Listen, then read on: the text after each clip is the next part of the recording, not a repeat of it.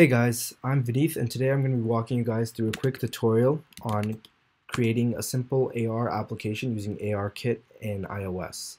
So the first thing we're going to do is create a new Xcode project.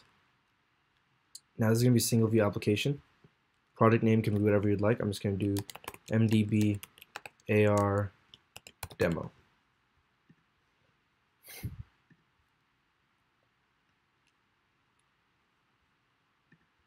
So the second thing we're going to have to do today is go into the info.plist, which just contains a list of permissions for your iPhone, and then give it permission to access the phone's camera. Now the tag can be whatever you like. I'm just going to say camera required for AR kit. And we're going to be using ARKit today, so we should import ARKit. You can just remove the did receive memory warning since this is a very small application. We don't need to worry about it. So the first thing we're going to do is initialize a scene, not initialize, declare a scene view. Now scene view is simply a wrapper around the ARKit internals that allows ARKit to interface with SceneKit. Now SceneKit is a high-level 3D graphics rendering library provided by Apple. So we're going to initialize scene view now. And we're going to want the scene view to scratch across the entire screen just going to do scene view.frame is equal to the view.frame. Now we're going to add this to the view. Next thing we're going to need to do is create what's known as a configuration. And the configuration that we're going to be using today is AR world tracking configuration. There's another kind of configuration called AR face tracking configuration, but that's for facial recognition projects. So we'll stick with this today, and we're going to tell SceneKit that we're going to want to run this configuration using this syntax. We actually don't need these options today, uh, so we can just delete those. Now the goal of this application will be that every time you click the screen, we're going to drop a button down, a box down in 3D space. In order to do that, we have to create the button that we're going to link the functions that add the box to. So that button will be a UI button. and we're going to declare that, we're going to initialize that button much the same way we initialize the AR scene view. Since we want the button to exist all over the screen, we're just going to do button dot frame is equal to view dot frame and we're going to give it a target which is essentially a function that's called every time the button is pressed. And I'm going to call it add box. And for UI touch up inside. Now I'm going to expose this function to Objective-C because that's what Swift 4 requires. And I'm gonna create this function really quick. Okay, so now that is the add box function. Let's just build it to make sure there's no more errors.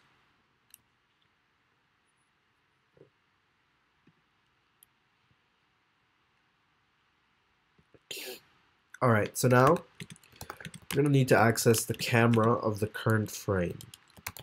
In order to do that, we're going to go into scene view dot session dot current frame dot camera and now this will just let us safely unwrap that. And now we're going to create something called a camera object, which is an ML, which is an MDL object. this is just a wrapper that lets us access the matrix properties of the transform much faster. So we're just going to do camera dot transform, and now this will give us those properties that we need. And we're going to need to get the position from this and that's going to be done using camera object.translation.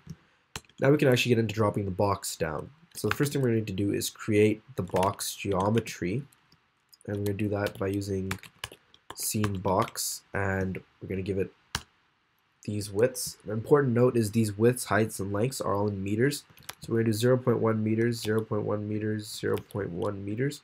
And chamfer radius is the bezel on the box, and I don't need a bezel right now, so I'm just going to do 0.0.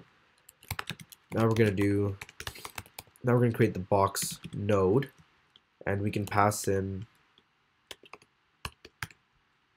the geometry that we've created. Now we're going to set the position of this node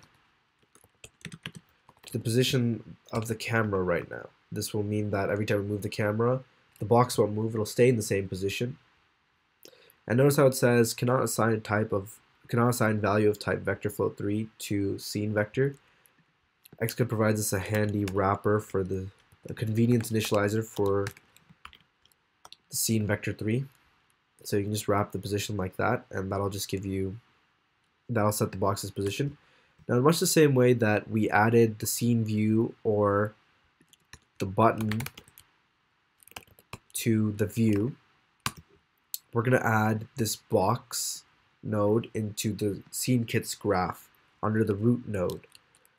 So that we can do that by doing scene view dot scene dot root node dot add child node and we're just going to add the box.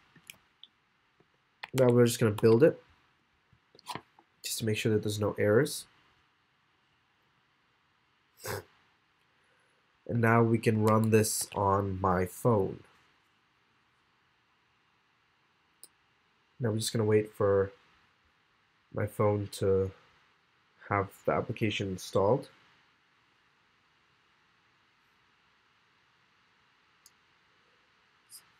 taking a while since the first time it's running. Now it's asking permission. Remember that's what we said in the info.plist. list. So now it's actually tracking space. Now if we click, there will be a box that appears. If we click again, sometimes ARKit takes a while to actually create the box. So we see those boxes are being created, and there's a lot of them because I accidentally tapped the screen a lot, but that's the basic idea. If we just click, it creates a box. And we can move around and those boxes don't move because that's the power of ARKit's tracking. So I hope you enjoyed this tutorial today. Uh, if you have any questions, reach out to us, comment on the video. Thank you for watching.